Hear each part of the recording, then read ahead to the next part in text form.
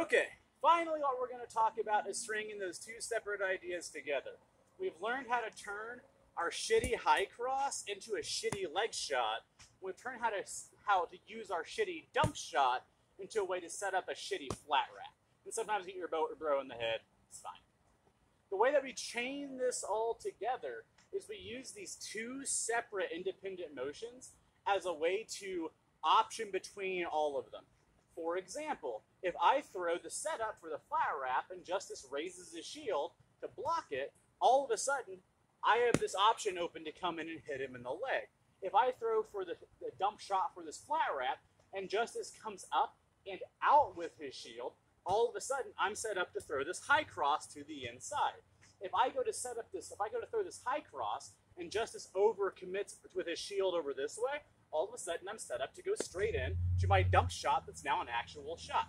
And so you can start seeing how you chain these things together.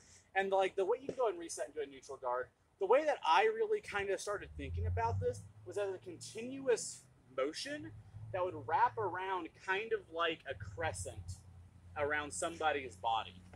Where I would start off with throwing a attempt at a high cross or just a flat cross chop drag that into a leg, and then come up into a flat wrap.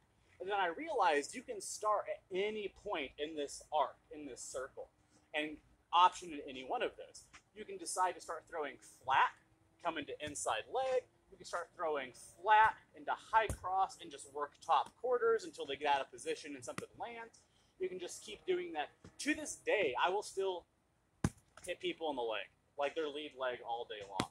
So that's how you start stringing things together.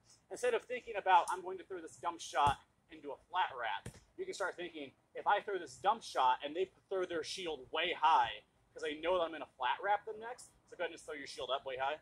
Well, this flat wrap's not going to work, but now I know this is here, etc. You start seeing how to chain these different shots together. And the final thing you're going to start working on, the final thing that I started working on, was varying the height of this shot here and instead of hitting legs sometimes, going in a little bit deeper and hitting body.